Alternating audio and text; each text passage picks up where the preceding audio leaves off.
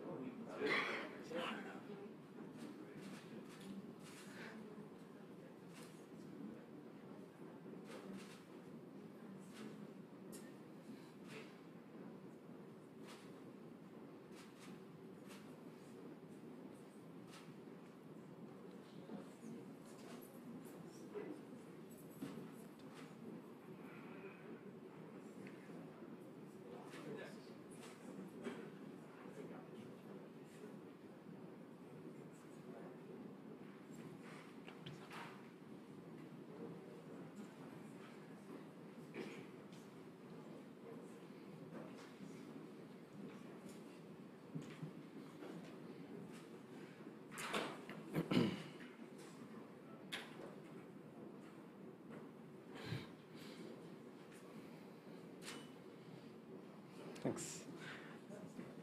The Honorable Ranil Wickremesinghe, President of Sri Lanka, and Professor, Professor Maithree Wickremesinghe, the Secretary General of the Commonwealth, the Right Honorable Patricia Scotland, King's Counsel, the Honorable Ministers, Excellencies of the High Commissions, embassies, and other members of the Di- Diplomatic Corps, distinguished guests.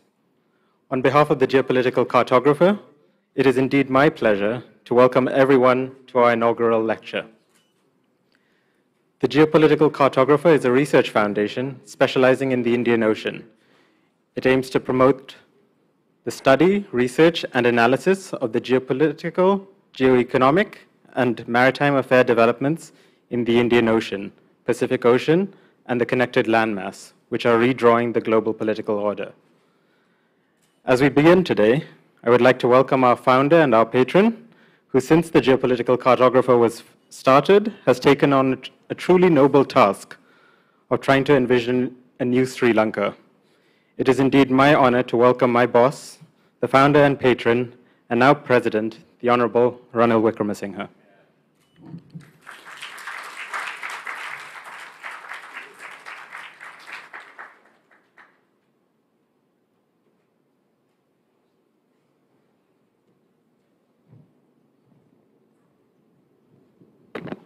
The Secretary General of the Commonwealth, Honorable the Ministers, Mr. Karu Jayasuriya, Your Excellencies, and friends. It gives me great pleasure to be present here today with Patricia Scotland, the Secretary General of the Commonwealth, for the inaugural lecture of the Geopolitical Cartographer. The Geopolitical Cartographer was the outcome of a discussion of firstly of uh, increasing the number of think tanks and research institutes in the country. Secondly, to focus on international affairs. Thirdly, not merely to cover the whole range of international affairs, but to focus on an area which was of concern to us, where we are located, the Indian Ocean. Its geopolitical aspects, its uh, geoeconomic aspects, its environmental aspects, which fall into either geopolitical or geoeconomics, and, and it was called the geopolitical cartographer because now the maps are drawn and boundaries are drawn not according to geography but according to geopolitics. For a long time, we belonged to a region known as the Indian Ocean, and all of a sudden it became the Indo-Pacific. So that is geopolitical cartography. The same thing, Europe has a problem now of where to draw the boundaries between Russia and Ukraine. It, it keeps changing throughout the world. Various claims are made, but we have to learn now that cartography depends completely on geopolitics and nothing else. So we call the name geopolitical cartographer, uh, but was to discuss how geopolitics and geoeconomics was changing the Indian Ocean, the most vital ocean uh, in the world. Till about the 18th century, this was also the richest. And in time to come, before end of the century, again you will find first the development of South Asia, of Indonesia and Southeast Asia, of uh, the Middle East, and finally the big development explosion in Africa. So might be, be that's why the focus is completely on this new emerging region. And the first person to come here and to be invited here is none other than the Secretary General of the Commonwealth. She's been a good friend of Sri Lanka. She's been a good friend of Asia and Africa, and she represents our thinking. But there's also another reason for her to be here, for the Commonwealth to be here. When we got independence, we first joined the Commonwealth. We were admitted to the Commonwealth. Our entry to the UN was blocked because uh, US had blocked some of the Soviet countries. In return, the Soviet Union blocked Sri Lanka. It was only in 1955 that we became a member of the United Nations. But from the beginning, we have been with the Commonwealth. And it was only correct that the Secretary General of the Commonwealth should be here on our 75th anniversary of independence. You were there when you got independence and you all are here now. So it's, to mark that occasion she was invited here by the government to take part in the uh, 75th anniversary of our independence. But today you are not here to listen to me speak. You are here to see, listen to what Patricia has to say. So I would like to welcome her uh, to address all of you on the numerous crises that she is going to now uh, explain and lay out. Thank you.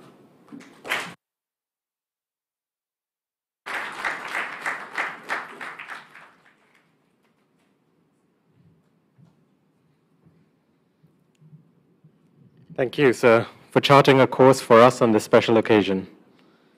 It is now my pleasure to introduce the Secretary General of the Commonwealth. Patricia Scotland was born in the Commonwealth of Dominica. She is the 10th of 12 children and grew up in London. She completed her LLB with honors from London University at the age of 20 and was called to the bar at Middle Temple at the age of 21. Her career has been marked by achieving a number of extraordinary firsts, not least of which was to be the first woman in more than the 700 year history of the office to serve as Her Majesty's Attorney General for England and Wales and for Northern Ireland. While holding these and other senior ministerial office, she was given responsibility, inter alia, for gender equality, domestic violence, forced marriage, international child abduction, and from these positions was promoted diversity and equality of opportunity, particularly for women and girls. As the only woman to have been appointed Secretary General of the Commonwealth, she is placing special emphasis on mobilizing the 56 nations of the Commonwealth to tackle climate change, including its disproportionate impact on women. And, though, and through Young Women's Enterprise to build the resilience of smaller or more vulnerable countries. Eliminating domestic violence and violence against women and girls is another area of focus. Please welcome the Secretary General of the Commonwealth, the Right Honourable Patricia Scotland, King's Counsel, to deliver the inaugural lecture of, titled The Role of the Commonwealth in an Era of Polycrisis. Thank you.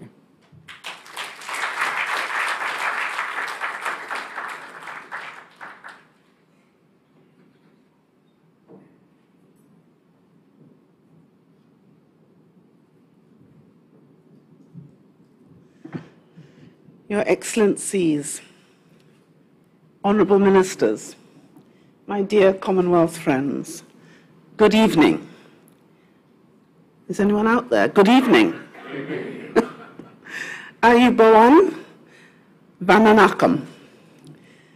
May I say what a pleasure it is to be with you and personally thank, if I may, President uh, Singh for his kind invitation to join you here today and for Sri Lanka's deep friendship and commitment to the Commonwealth. This is my third visit to Sri Lanka since taking office as Secretary General. And this wonderful, beautiful Sri Lanka, famous and proud nation, situated in the very heart of the Indian Ocean, is very special to our family. A nation which, ever since the decisive step into independence in 1948, has played a role in the world which outstrips its size. The Sri Lanka, which blazed a trail in electing the world's first woman prime minister. The Sri Lanka, which attained admirable high social indicators in areas such as literacy and infant mortality, and set an example to the world by eliminating malaria. The Sri Lanka, which helped to found the Commonwealth in 1949, which provided skilled diplomats of the highest order to the United Nations and the Commonwealth in service of the world, and which brought the Commonwealth together by hosting our heads of government meeting in 2013. The Sri Lanka, which showed its tremendous talents and prowess when it won the Cricket World Cup. Murali's record of 800 international wickets may never be broken, save except by a West Indian cricketer. And I say that as the daughter of a West Indian cricketer who once had the privilege to play with Viv Richards' father because they were best friends. So you can see why we think we'll give you a bit of run for your money. I know that Sri Lanka has felt, indeed continues to feel, the weight of political and economic pressure. I was privileged to talk to young people from Sri Lankan's Federation of Youth Clubs, and I really understand what they told me. Pressure can be hard to bear. It can be destabilizing, isolating, frightening. And I am here because I want every Sri Lankan to know that you are not alone. You are part of this special, precious Commonwealth family. As a family, we have a responsibility for one another, a duty to each other, a shared love and a shared journey. And you are not alone in the nature of the challenges you face. I travel all around the Commonwealth and the wider world. And whilst every country's direct experience and circumstances are different, there are similar challenges everywhere. You may feel as though you are living in a country under pressure. But the reality is that we are all living in a world under pressure. All of us, tightly bound by a tangled knot of crises spanning global systems. A world living with the social, political, and economic consequences of COVID 19. A world crippled by debt, rising inflation, and high interest rates, spiraling costs of food and energy. We are grappling with the tremors of instability and conflict. And all the time, we are buffered by the increasingly harsh impacts of climate change. Each of these challenges can be categorized as grave and serious crises. taken together, they have been given a name, the polycrisis. The global crises interconnect, intertwine, and worsen one another. What we feel in our lives is the relationship between these crises and the unique political, economic, social, and geographical circumstances of the societies in which we live. The shocks are disparate, but they interact, so the whole is greater than the sum of its parts. They combine and accelerate to amplify existing social, political, and economic inequalities and bring forward the tipping point for conflict. Their effect is acute bursts of pain, combined with the gradual worsening of collective human prospects. It is a grim reality, but the world has faced grave challenges before. What defines our present predicament as unique is the lack of single causes and single fixes, and the way in which human activities have pushed the planet's ecological systems so far out of balance that all other global systems are in danger. From the production of food and energy to finance, trade, international security.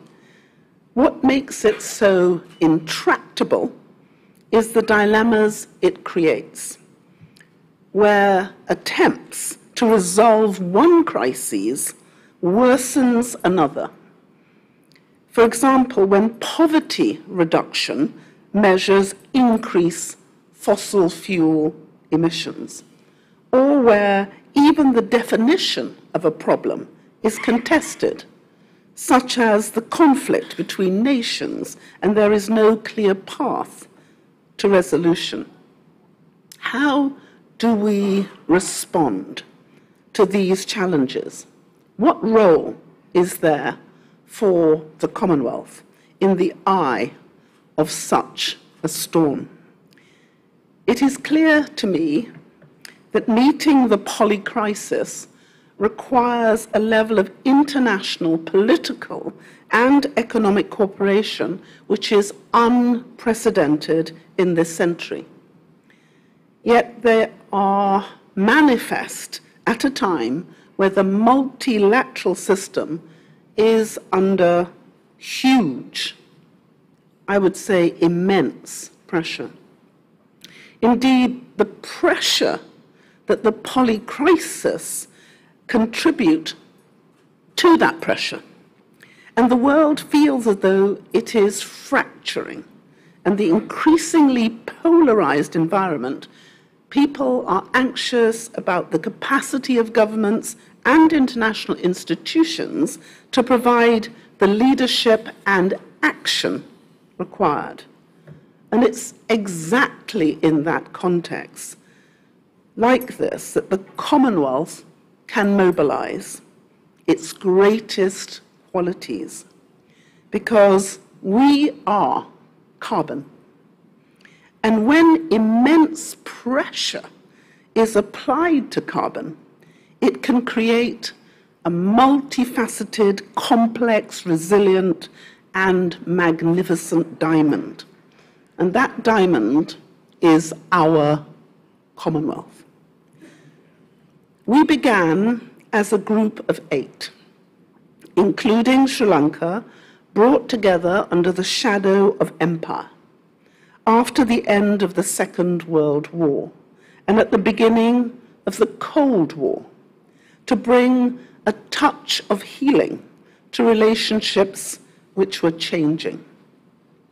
Her late Majesty, Queen Elizabeth II, herself observed that the Commonwealth, and I quote, which bears no resemblance to the empires of the past an entirely new conception built on the highest qualities of the spirit of man friendship, loyalty, and the desire for freedom and peace and an equal partnership of nations and races.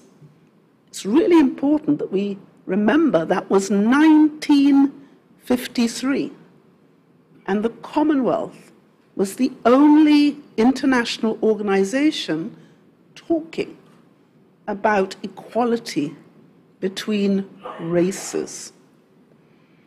And I believe she was right. Today, the Commonwealth stands as a voluntary association of 56 independent sovereign states spread across five oceans, five uh, continents, and six oceans. 2.5 billion people, 60% of whom are under the age of 30. We encompass around one third of the world's population. We comprise developed and developing countries, island states and landlocked states, some of the largest populations of any country in the world, and some of the smallest. Five of the ten fastest growing cities on the planet, and some of the most remote indigenous communities. 33 of our members are small states, of which 25 are small island developing states. But look at the Indian Ocean. 14 of our members come from the Indian Ocean. 15 of our 56 members retain constitutional links with the monarchy of the United Kingdom. 36 are republics. Five have monarchies of their own. And four were never part of the British Empire. Most recently in Kigali, Togo, and Gabon joined us. And that is an extraordinary thing to happen because they were welcomed by all of the heads of government in Kigali because it was the right place to be.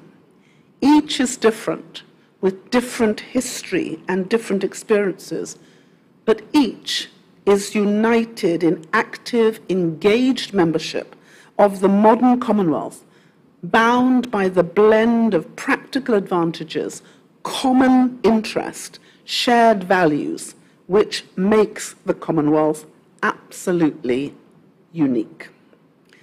And rising from all of this is an essential truth. We are the world's largest association of democratic nations and the most significant grouping of countries in the history of the world, which is bound, above all, by values to which we all aspire and the values enshrined in our beloved Charter. The strength of our combination of advantages, interests, and values shines in the fact that whilst the multilateral system is under strain, the Commonwealth as a multilateral organization is growing precisely because of what we stand for and what we can deliver. We have never been greater in number than we are today. And many countries are asking, even now, to join us. So we know that the Commonwealth story has its origins in empire. At times, we still feel the scars of old hurts and resentments. But our ability to bring leaders together today as equals underlines our strength and value. The Commonwealth provides a continuous connection between countries separated by geography. In no other multilateral setting can Sri Lanka engage so regularly, so easily, so intimately, so closely to build relationships in Africa or the Caribbean or Europe or North America. We have difficult conversations in a constructive spirit, and we face the world's challenges together. It is a unique organization in our world, and it has been a hallmark of the Commonwealth. For decades, we have demonstrated a remarkable ability to confound our history and at difficult times to look crisis and challenge in the face and to call it what it is, to call injustice what it is. And we can see in our collective refusal to turn a blind eye to apartheid. You can see it in the groundbreaking Lusaka Declaration on Racism in 1979. You can see it in the Langkawi Declaration on the Environment in 1989. The leader's statement on climate change ahead of the Paris Agreement in 2015. It's so easy to forget that that Paris Agreement seemed so far away. And yet it was in Malta that we agreed to go together to Paris and fight for an enforceable agreement, two degrees and 1.5 degrees as our target, aspirationally. We did that in November. In Paris, what did they then agree? Enforceability, two degrees, and a 1.5 aspirational target. But where was that deal for the world brokered? It was brokered round the table of our Commonwealth family because everybody was there. Everybody was represented. Everybody had their say. And then we look at the leader's statement, and it echoed the hopes of the whole world, not just the hopes of our Commonwealth nations. And in the landmark reference to loss and damage in 2022 CHOGM in Kigali, which was unique, but it set the tone in the global agreement that came in COP27. 27 years we had been asking about loss and damage. 27 years. And it was only when the Commonwealth leaders bravely put loss and damage in their communique that in Sharm el Sheikh we heard the echo of the Commonwealth in the communique from the rest of the world, and we delivered together, all of us, globally, loss and damage for the first time. So you can see in the Commonwealth Charter, which celebrates its 10th anniversary this year, and you can see it also in our continuous, tireless fight for the small and the vulnerable and the marginalized. These interventions have been groundbreaking and often shifted the dial.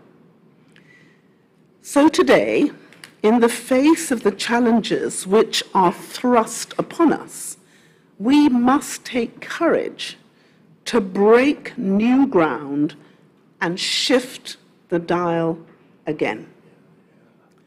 The collective resolve of Commonwealth heads of government to do exactly that, this um, was there once again in Kigali last year.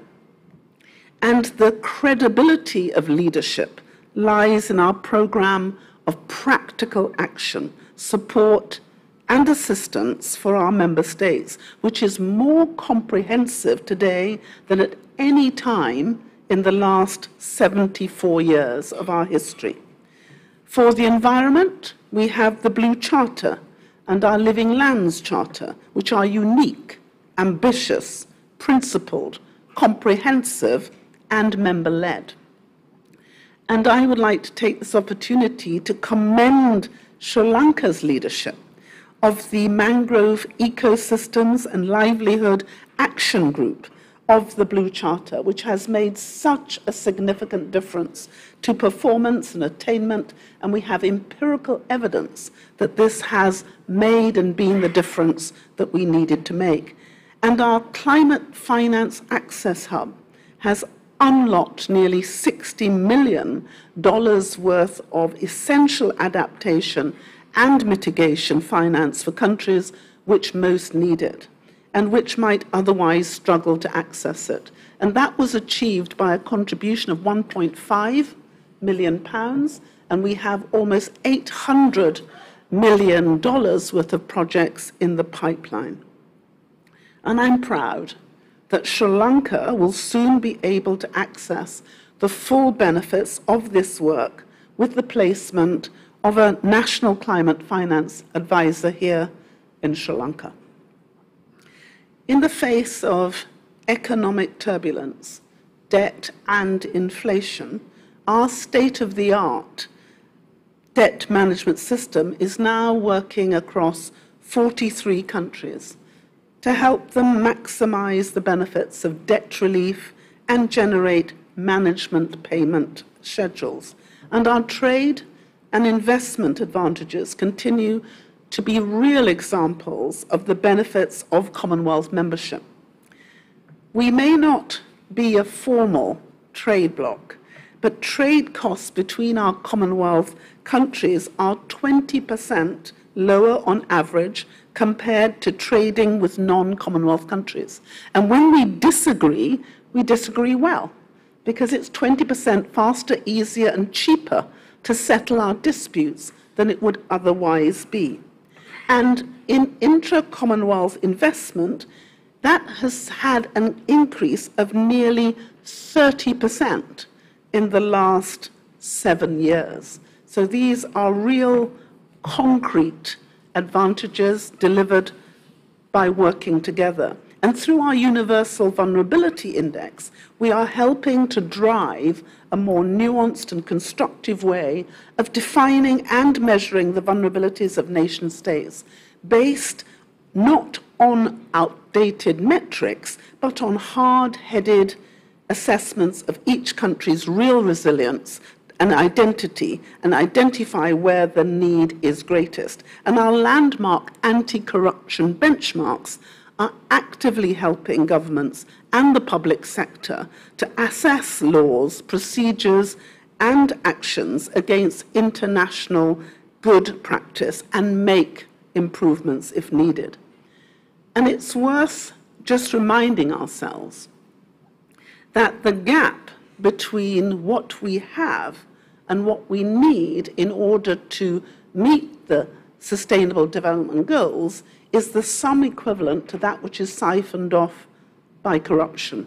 So when we interdict that corruption, we put money and power back into the hands of our governments. And our generally accepted principles for performance management, developed through two years of painstaking engagement of thousands of leaders and senior civil servants, are set to proceed through onto the United Nations towards a global consensus on government performance management. But they were agreed in Kigali in June by us first. And these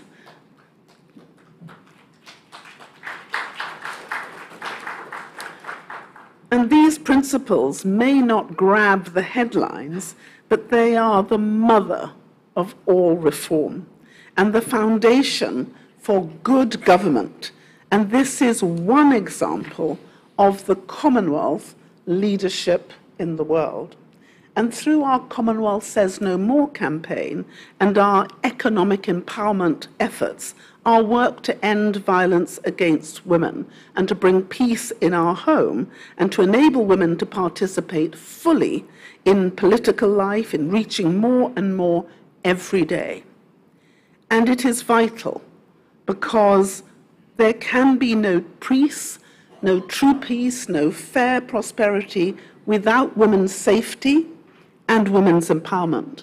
And our work to protect the process, institutions, and culture of democracy, as well as our quiet but essential work on peace serves not just the Commonwealth, but the whole world.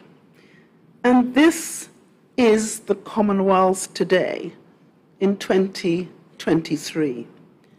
Our role, our relevance, our value, our principled and practical response to the grave challenges we all face. And there is another dimension to this argument. The very fact of the polycrisis shows us that for governments, multilateral institutions, businesses, and civil society, business as usual is simply not enough. It's not enough to deal with the challenges we are aware of, and not enough to deal with the new and unexpected challenges which will inevitably come our way. We cannot simply manage the impact of problems. We must seek to transcend and to build a better future, driven by a combination of hope, hard headedness, and confidence in humanity's ingenuity. I've often said human genius got us into this mess, and human genius is going to have to get us out. Because during the last decade, the proliferation of challenges I have been describing has too often diverted our attention from a technological revolution which is dizzying in its pace and scale. More people are connected to the internet than ever before. More people rely on digital services than ever before. New technologies such as artificial intelligence, big data, blockchain, cloud computing, Internet of Things have become critical to nearly every sector. They are driving profound changes in our daily lives, changing how we consume produce and work, how societies connect, and how businesses are run. By the end of this decade, it will have completely transformed our societies and our economies. So it will inevitably transform our politics too. But if you talk to most public policymakers about the technological revolution, right now, today, you will probably find yourself in a conversation about how to effectively regulate Facebook or debate about whether Elon Musk is going or doing a good job on Twitter. Now, these conversations are important but they miss the wider point and they sidestep the purpose. What we should be talking about and what we can no longer avoid talking about is how we can harness the extraordinary potential of technological transformation to drive positive change in healthcare, in education, in transport and infrastructure, in governance and trade and justice, to make our societies more equal, more fair, healthier, more prosperous, more resilient, and more secure. We must talk about how it is only through the development and deployment of new technologies at scale that we can achieve carbon neutrality and avoid the worst aspects of climate change. And we must talk about how we can close the digital divide and close the gaping skills gap to ensure that the benefits of the technological change are felt fairly and equally by every region, every country, and every citizen, really leaving no one behind. Those of you who know the Commonwealth will understand that whilst we so often set an example to the world, we are not good about shouting about ourselves, what we've achieved, how we've achieved it.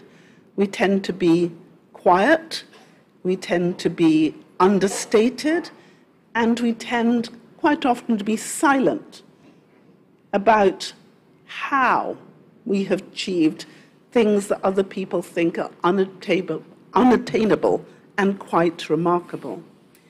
And those of you who know me will understand that I love to build comity, not only between countries, but peoples and institutions and sectors. In Africa, apparently, I'm known as Mama Pro Bono.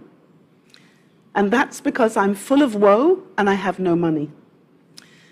But I'm also always looking for friends, friends who are burdened with money, burdened with intellect, burdened with experience and expertise, and friends who are willing to share.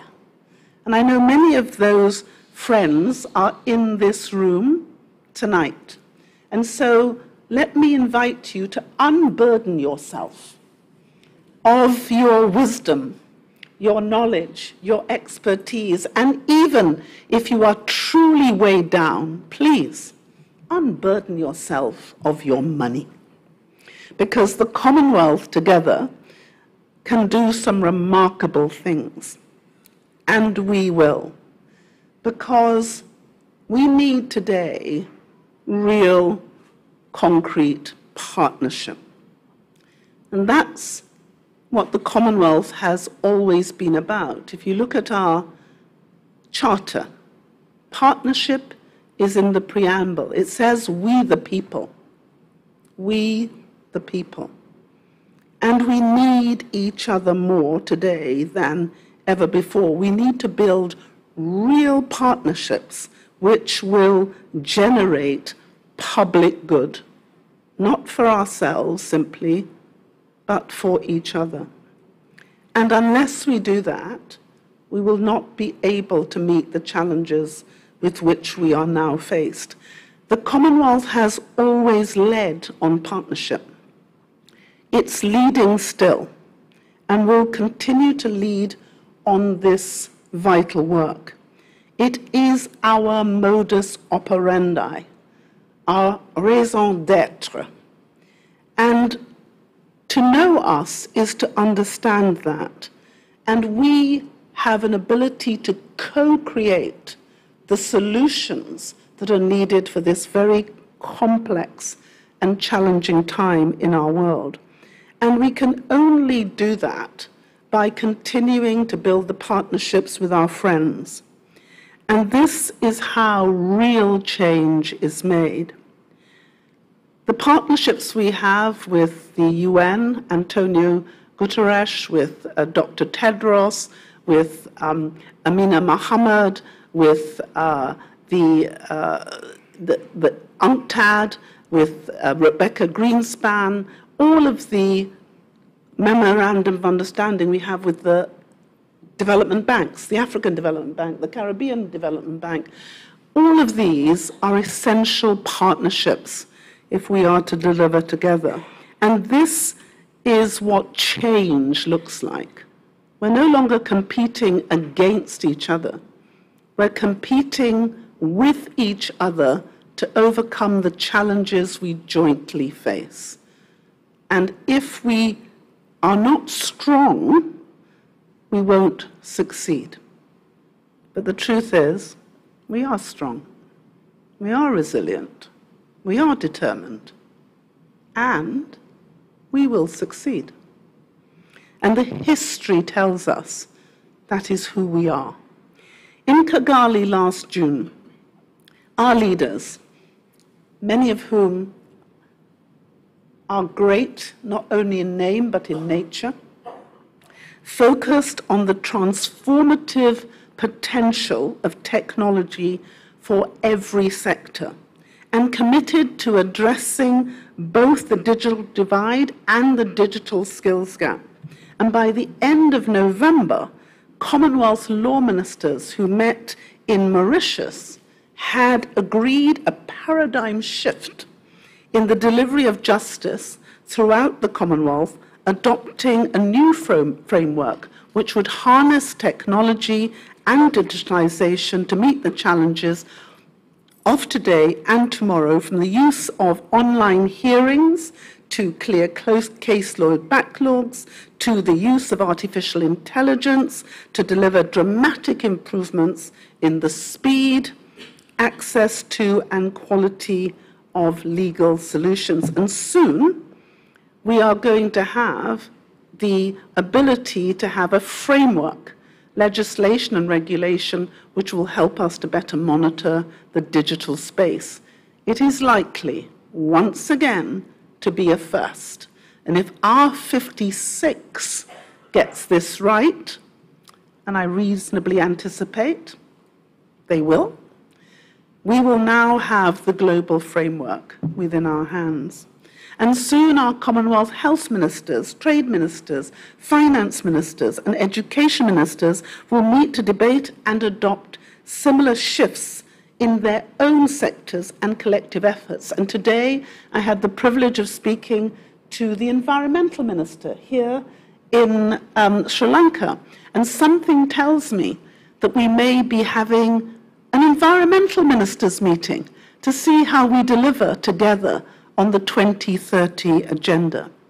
And through our partnership with Simplilearn and Intel, we will be training tens of thousands of young people across the Commonwealth in digital skills and our officials, equipping them with the knowledge and confidence they need, not just to survive in a technological revolution, but to thrive in it, indeed, to shape it.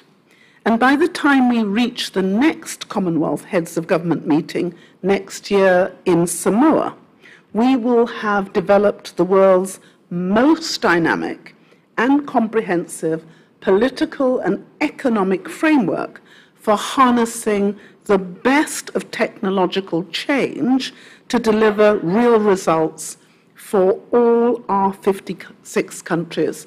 That's the 2.5 billion people, a smart Commonwealth, a connected Commonwealth, an innovative, successful Commonwealth. Because of our natural advantages and unique blend of strengths, the Commonwealth is uniquely placed to achieve this. Because of our shared values and shared interests, because of our practical similarities in language, common law, regulatory coherence, business procedures, and large dynamic diaspora communities. And above all, because the values to which we all aspire, and these values of peace and justice, of tolerance, respect, and solidarity, and our role as the foremost international champion of small and vulnerable states, are an enduring responsibility. They express a vision for the world that will outlast all of us.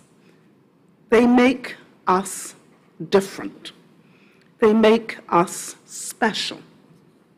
I believe profoundly that taken together, they mean that the Commonwealth today in 2023 is not simply a part of the international system, it's a beacon within it. In the face of the poly crisis, it is our responsibility to ensure that we do not simply honor these values, but we ensure we shape the choices we make in the face of profound global change and challenge.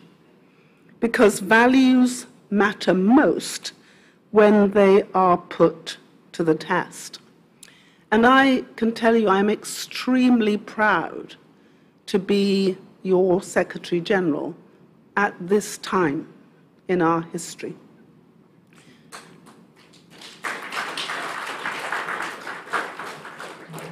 I'm proud of what we've done. I'm proud of the sacrifice that so many have made to make a difference to those who are most in need. And I'm proud that the Commonwealth leaders were able to choose a girl from a small island state. My country of birth has only 72,000 people. So it said when you have a Dominican in the room, you have a large percentage of my population. And I come from a very small village, St. Joseph in Dominica. One, as you've heard, of 12 children. I'm my parents' 10th only child because they said they only had one of each of us five girls and seven boys. I came into the Commonwealth born in 1955, although I'm only 21, at a time of division and change when being a woman meant that you had fewer prospects. Being black meant you had fewer still. Coming from the Caribbean meant you could play cricket. But in terms of opportunity, there was none.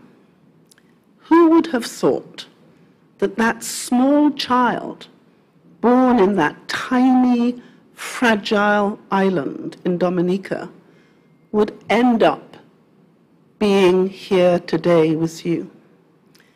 And let me tell you why I think that's been so important. Because from my earliest years, I have loved this Commonwealth. As a child of the Commonwealth, born in the Caribbean, but growing up in the United Kingdom, I've seen the full panoply of who we are. I've seen the love, the difficulty, the trauma, and the courage that has taken us from where we were in the 1950s to where we are today. But not just that, I've seen where we're going, what we can achieve, what we can do together if we stay honest to our history and honest to our future. Please do not let anyone tell you that this polycrisis is too great for us. Nothing is too great for us if we choose to work together. And our Commonwealth has always chosen. We've never stepped away. We've never closed our eyes. We have always stood up and watched, seen, and we have delivered. And I can see it happening right here in Sri Lanka. Challenged, yes Problems, yes. Determined? Absolutely. Committed?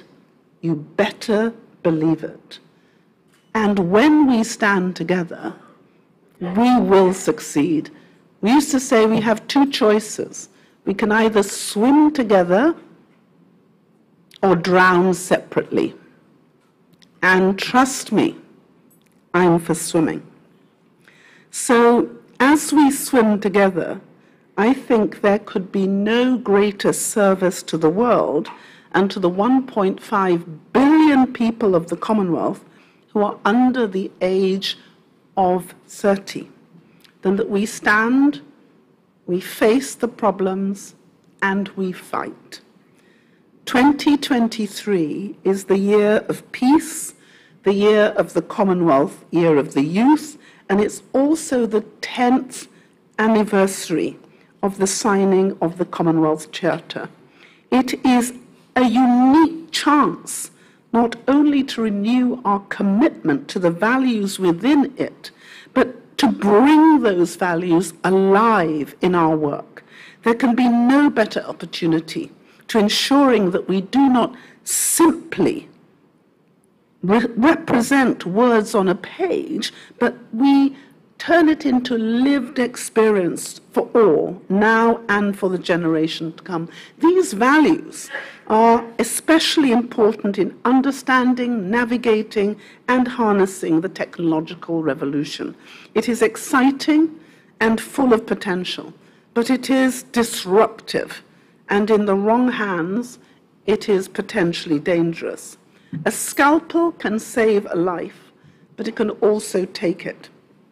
And the Commonwealth's position as the first decisive multilateral mover on technology is not only an advantage to our member states, it's an advantage for the whole world because we can load the coming transforming our lives, our values, which are una- uh, unalienable, uh, unshakable, generous, focused on the common good, bringing people together and drawing our strength. This is really our time. And Sri Lanka is an essential part of that. You have shown before that it's impossible, in, it is possible to inspire and to be inspired. And you have proven that it is not about being large. Your country is unique but it is the example you are able to set that you set in the past, and I know you will set in the future. I believe that any nation which brings the values of the Commonwealth alive, no matter its size, can be strong and free and prosperous and fair and a force for good in the world. This is Sri Lanka's promise and the promise of the Commonwealth. And I suppose it's my job and my commitment as Secretary General to help you unlock that promise for the good of all Sri Lankans, for the good of the Commonwealth, and for the benefit of the world. And I promise you, whilst there is breath in my body, I will fight for this dream. All of you know I'm a practical dreamer. I want all my dreams to come true. So far, even things I never dreamt of have come true. And I know this Commonwealth has a long way to go. We will go together, we will arrive safely, and we will succeed. So, um, Bohoma Istuti, Nandri, and thank you.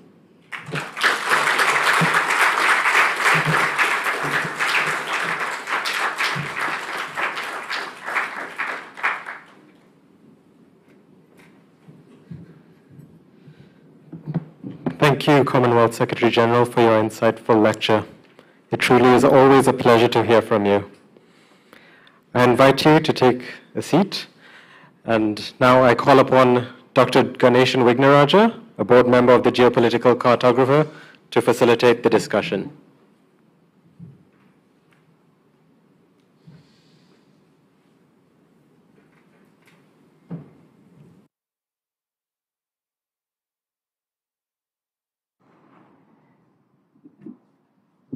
Thank you, Secretary General. That was a really inspirational speech. Um, and I really liked the part that you said we must dream. And I think that was really wonderful. And also for reminding us of the role of the Commonwealth. I'd like to do this uh, question and answer session in two bits, if I may. The first bit, I thought we might have a conversation about some of the themes that you raised in your speech uh, just so that our public and our audience will get a better sense of the guts of what you're trying to say. And then we'll open it out to the audience to uh, be able to ask a few questions, but let you collectively take them so you can pick and choose a bit uh, as you like, if that's, if that's all right with you. Let me just start um, with this big issue that the geopolitical cartographer is worrying about is the intensification of great power rivalries. And my question is how does being part of the Commonwealth help uh, members, particularly a small country, uh, deal with this geopolitical context? Well, I think um, what we've seen is many of our small states, remember we have 33 small states, 25 of them are island states, Sri Lanka is one of them, feel that their voice is not easily heard. And in the arena where the elephants are fighting, those who are small tend to be crushed or go unseen. And what the Commonwealth has been able to do is to give our member states that voice. Many of our developing and smaller states have said on a number of occasions that in the global space, their economic position being weak, their numbers in terms of uh, population being small, it's very difficult to be heard, but it's very difficult even to have a conversation with some of the larger countries and their leaders. And it's quite remarkable to sit round the Commonwealth table. You will have a country like India, representing 1.417 billion people, speaking face to face round the same table with the president of a country as small as Nauru, which has 10,000 people. And they each have the same vote. So, what that means is they get to listen to each other.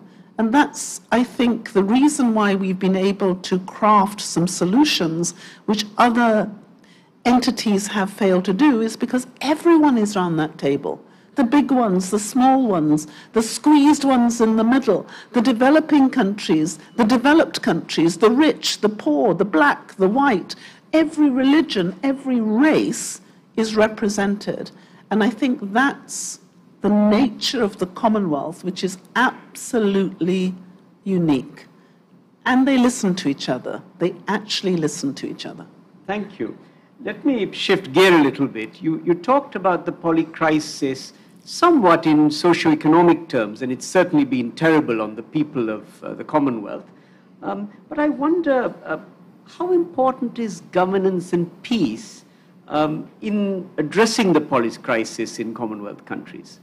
I think it's of critical importance because um, most of our member states, as rich as they may be, do not have enough money to deliver everything they need to deliver on the sustainable development goals. That's just the reality of where we are. It boils down to good governance. If you govern well, if you use your assets well, your opportunity to deliver more is enhanced. And that's why we spent almost two years working on the generally accepted performance management principles for government. And that's why I said it sounds boring, but it's actually absolutely critical. Because it's very difficult to get an objective assessment as to whether a country is doing good, bad, or indifferent, because quite often this judgment is made in the eye of the beholder. If I like you, I tell you you're doing well. If I don't like you, I might tell you you're doing badly. But where is the empirical data to demonstrate whether my assessment is right or wrong?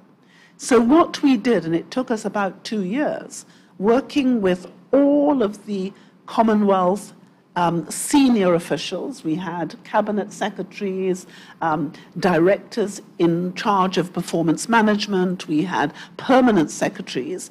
And we wanted to define what does good governance look like? What are the standards? How are we going to judge it? And we created a performance management system which is accepted by all of our members to be a fair method to assess good governance. And that was agreed. We had a meeting where all the cabinet secretaries and, and, uh, who, uh, who, and delegated PermSecs came. We agreed the performance management, and in June of last year, these standards, which will be the basis upon we, which we can help each other to do better, to assess accurately what we're doing, was accepted. And we are now going to take those generally accepted performance management principles, which is called the GAP, and we're going to share those with the UN, and I hope, just as with climate change and with loss and damage and the other things, we having done the backbreaking work of coming together and building this system, I hope it will be accepted by the UN, and that will be a means through which we can more effectively, more dynamically deliver what works on the uh, sustainable development goals so that we will leave no one behind and we will have a fair, open, transparent system to really know whether our governments are doing what they promised and said on the tin. And some people think that's revolution. In your speech, uh, you talked a lot about climate, and I noticed you were talking about an environment ministers meeting and a climate finance advisor, if I got that right, yes. for Sri Lanka. Um, how would you assess how well the Commonwealth has done in climate? Is it a new area? Do you have plans for expansion? In fact, um, this is an area which the Commonwealth has been committed to since 1989.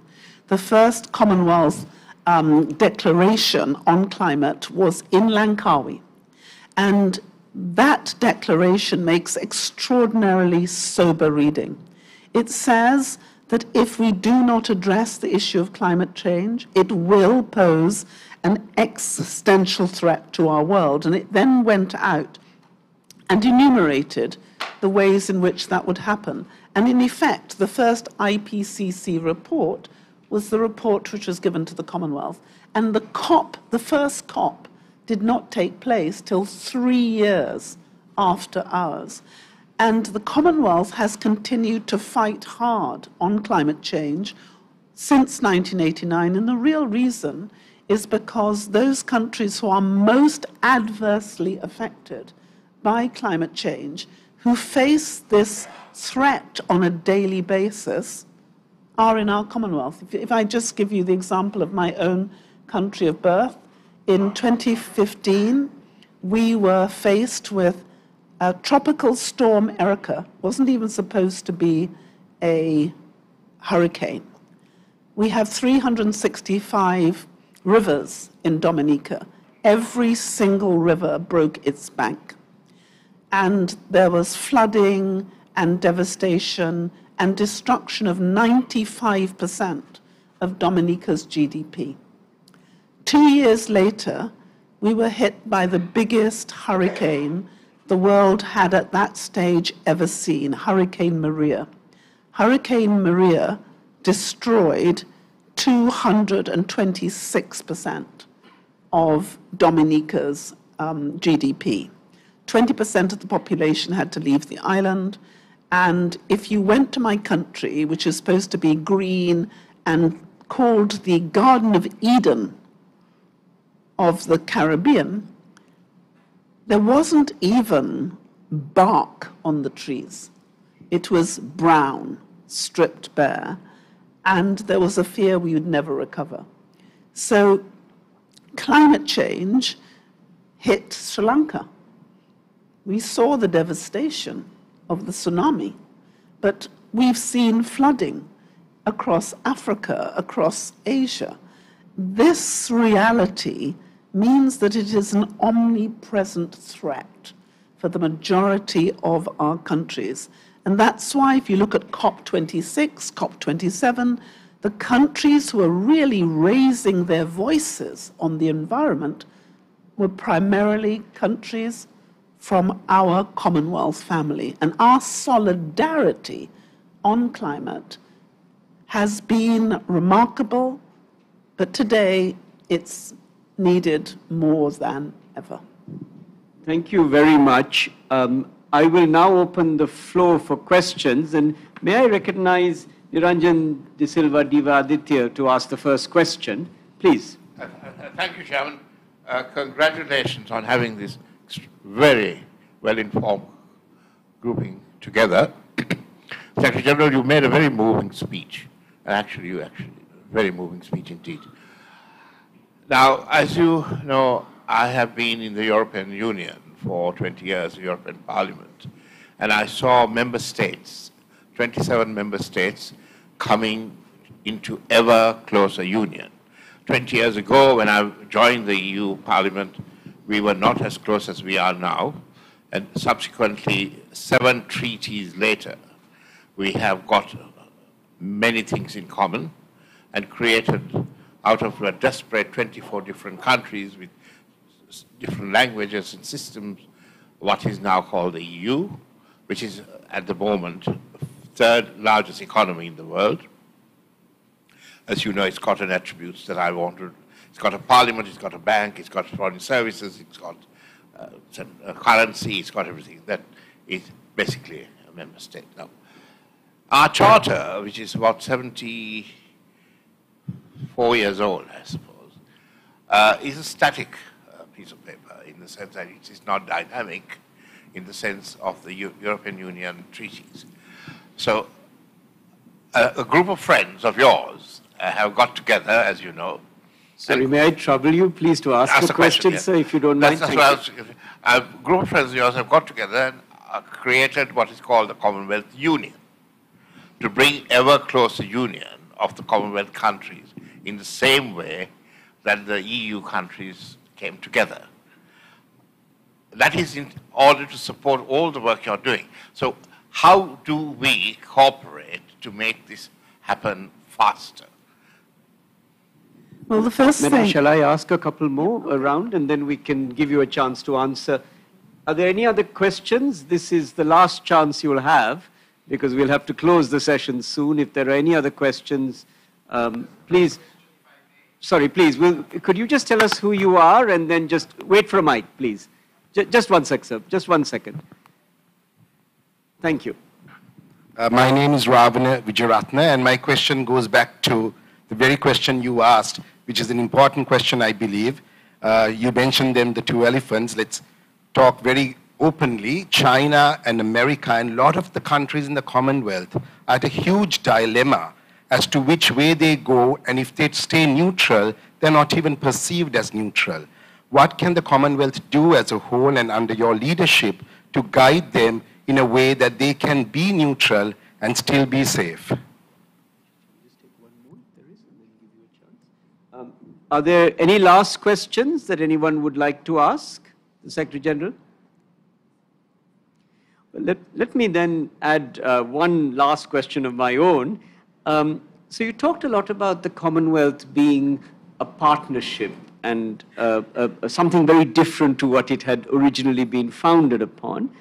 Um, the question being asked sometimes in Sri Lanka and in other states is, is the Commonwealth still relevant um, in the reign of King Charles III? Um, his mother, of course, was a different uh, personality and gave a lot of breadth, and I would love to, we would all love to hear your views. Thank you so much.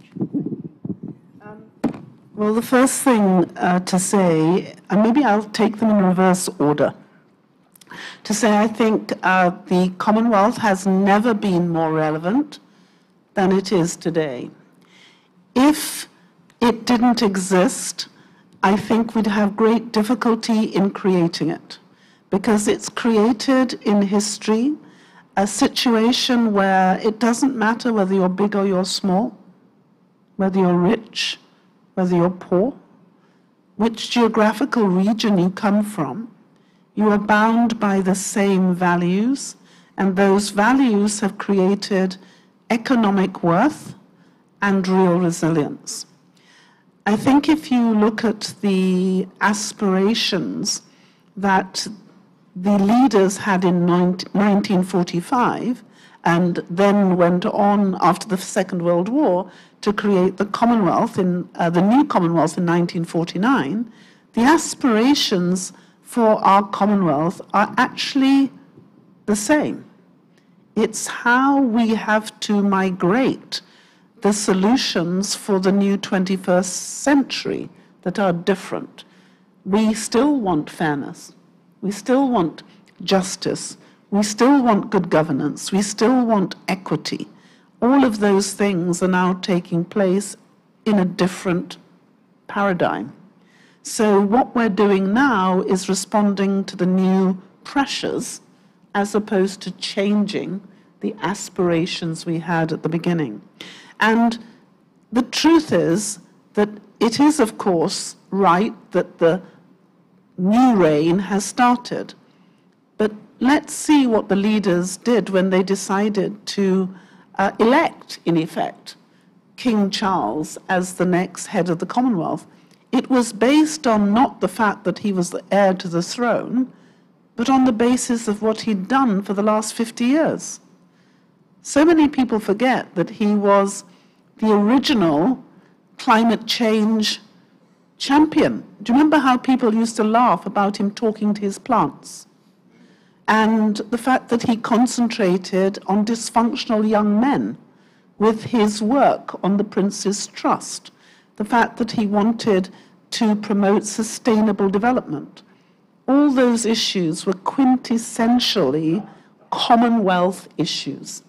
And so I think we have a new head of the Commonwealth who has probably had the longest apprenticeship known to man.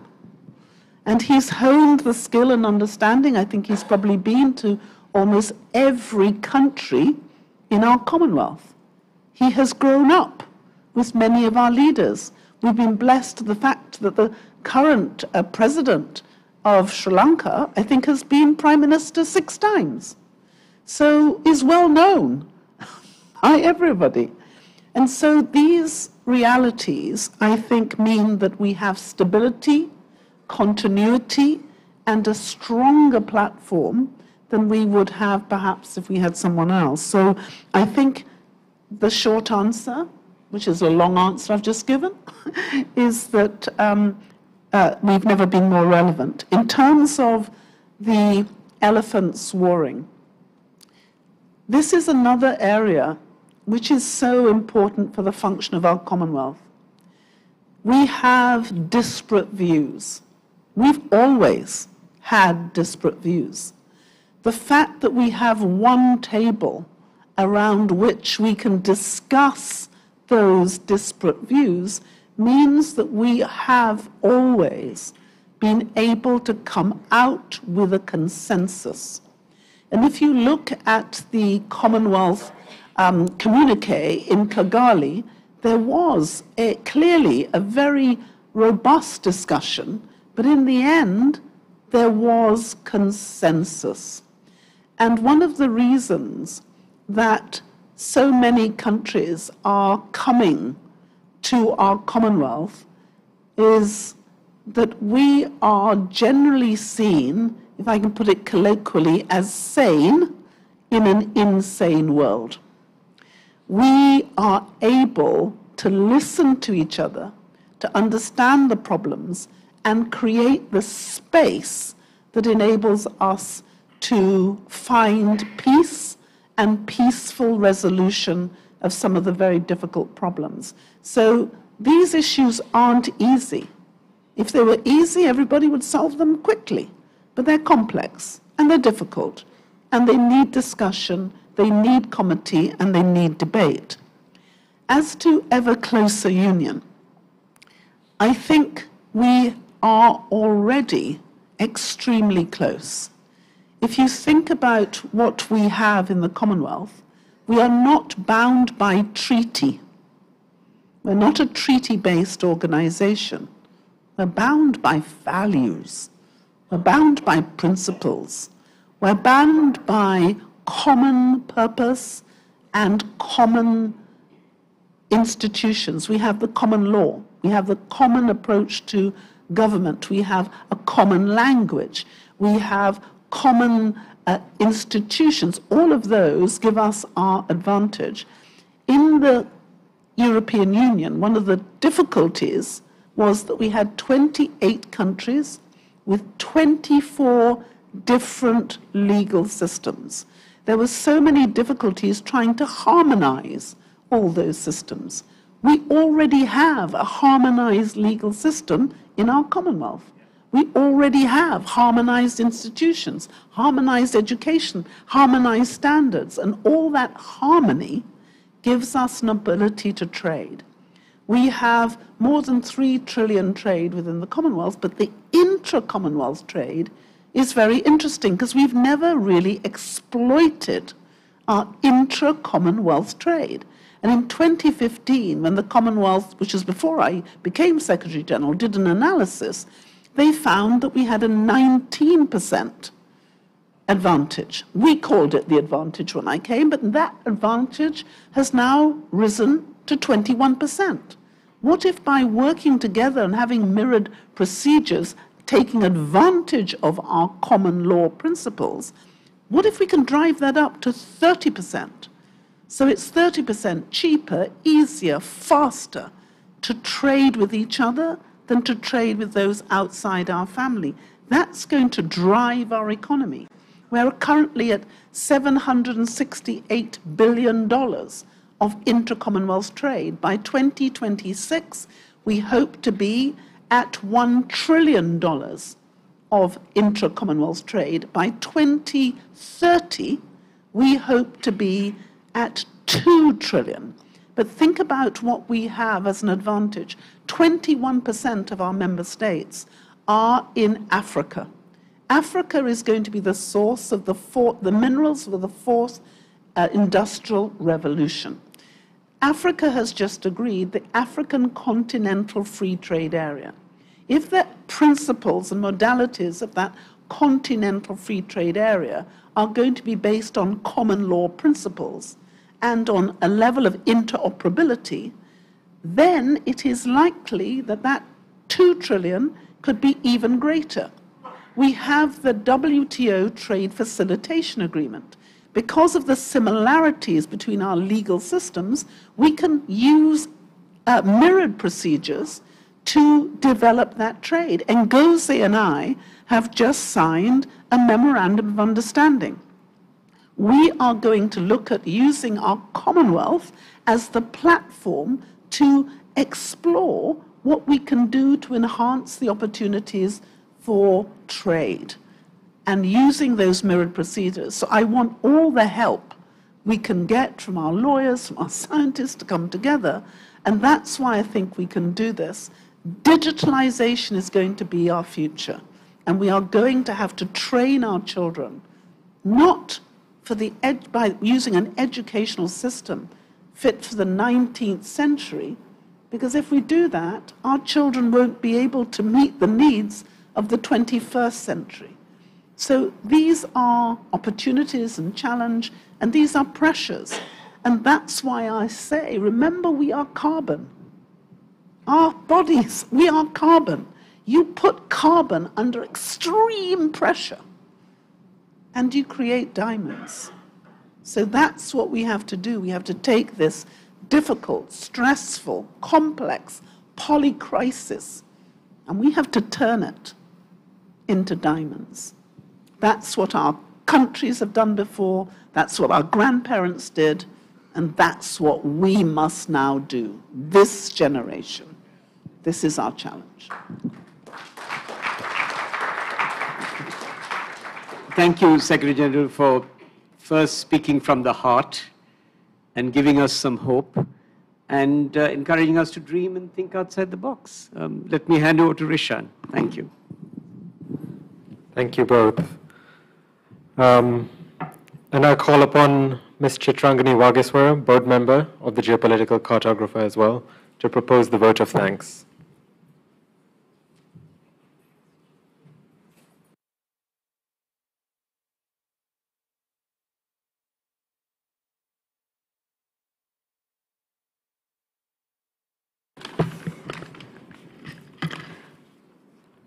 Honorable Ranil Wickremesinghe, President of the Democratic Socialist Republic of Sri Lanka, and Professor Maithree Wickremesinghe, the Right Honorable Patricia Scotland, Secretary General of the Commonwealth, Honorable Ministers, State Ministers, High Commissioners, Ambassadors, and other members of the Diplomatic Corps, officials from the government sector, members of the private sector, and all other distinguished guests.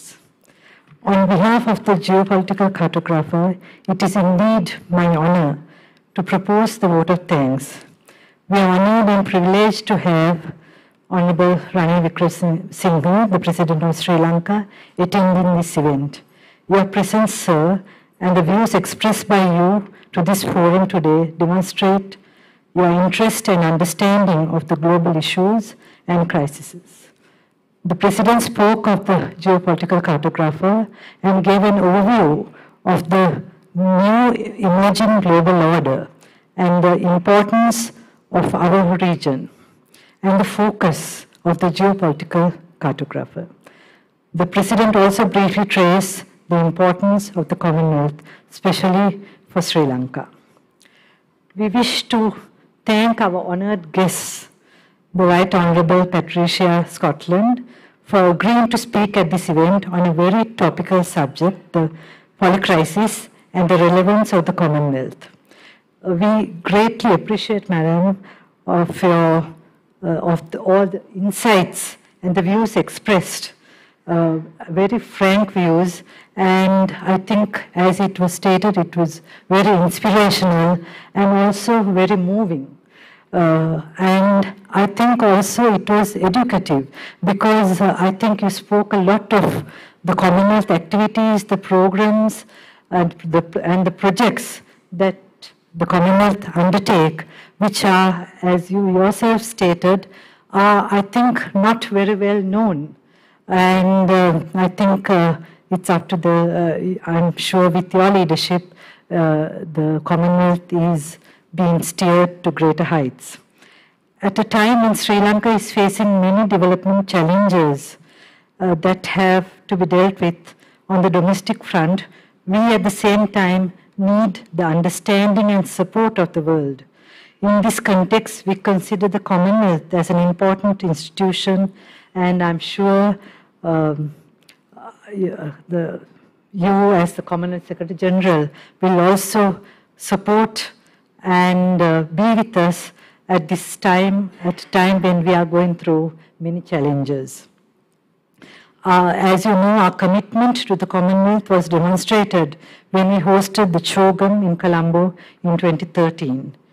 If uh, we are to pick up the central message that you conveyed to us today, uh, Secretary General, I wish to refer to your speech when you articulated a similar message on the global scenario at the CHOGM in Rwanda in, in 2022. And if I am to quote a few words from a speech, which sums up even the present, uh, present as well. I quote, the world is changing and the people are anxious, unquote. So it is a time that you, as a Commonwealth Secretary General, and all the leaders in Sri Lanka, as our President mentioned, and the world, that has to give the leadership and work, uh, face these challenges so that uh, uh, the, that it helps all our countries and the people. Uh, as the Commonwealth Secretary General, you also uh, emphasized on the need to uphold the Commonwealth principles and values, principles of peace and justice, coexistence, freedom, democracy, unity and diversity. And, and I think that is the glue that keeps the Commonwealth together. To uh, because the Commonwealth is so diverse in terms of geography, race, ethnicity, and culture, and yet bonding together as equal nations with a common past. We are living in an interdependent world, and while the crisis would have, um, which uh, has an impact on the entire world, directly or indirectly, we together have, as you mentioned, the ability and the capacity to meet these challenges. Uh, to conclude uh, on behalf of the geopolitical cartographer, I wish to uh, thank, um, it is my duty to express our thanks and support to everyone who supported us, helped us in numerous ways, uh, directly, indirectly, behind the scene. And of course, uh, I'm not mentioning any names or uh, names, but let me, of course, just uh, refer to uh, the, um, the Marriott Hotel that has all, uh, helped us and come out of the way to, because you're, you're just, I think, operational only one month, but uh, I think you have done everything that we have asked for, so a big thank you to you. Uh, and last but not least, we wish to thank everyone uh, present here today for attending this function. We do appreciate your presence. Thank you.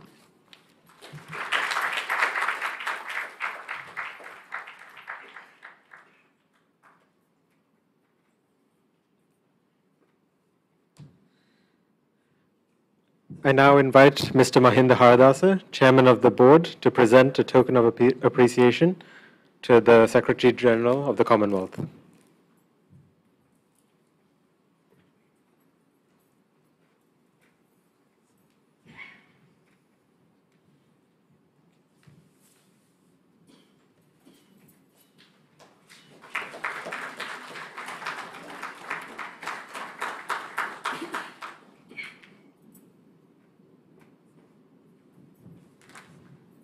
Thank you all for joining us today. I invite you to join in for a light tea, which is served just outside the ballroom. Thank you.